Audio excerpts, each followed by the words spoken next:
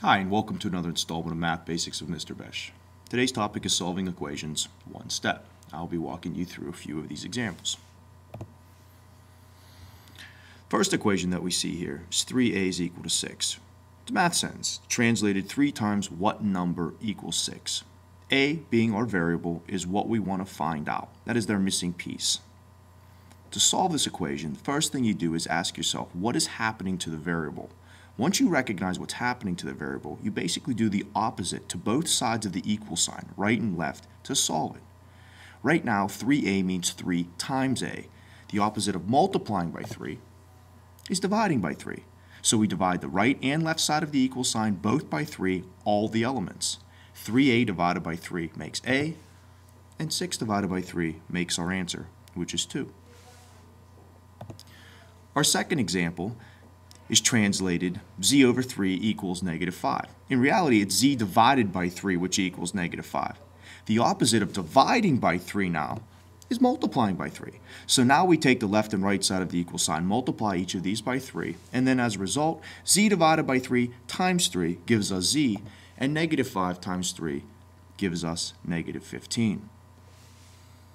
Our third example c minus 7 is equal to 8. Well, now what we're doing to the variable c is we are subtracting 7 from it. The opposite of subtracting 7 is adding 7. So we add 7 to the left and right side of the equal sign.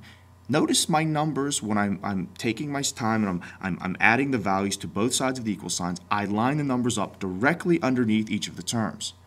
So now when I add 7 to both sides, c comes out to be equal to 15. Again, another example, instead of subtracting, this time we're adding. 6p plus 6 is equal to 20. So now the opposite of adding 6 is subtracting 6. So I subtract 6 from both sides of the equal sign, and when this happens, I get my p-value is equal to 14.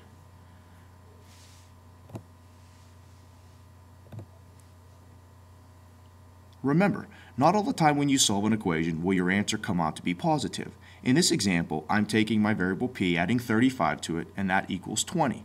Well, now, what I need to do is the opposite of adding 35 to p. So that means I have to subtract 35 from both sides of the equal sign. On the right, I end up getting 20 take away 35. As a result, my answer comes out to be p is equal to negative 15. I hope this mini lesson was both helpful and informative. This will conclude our tutorial on solving equations with one step.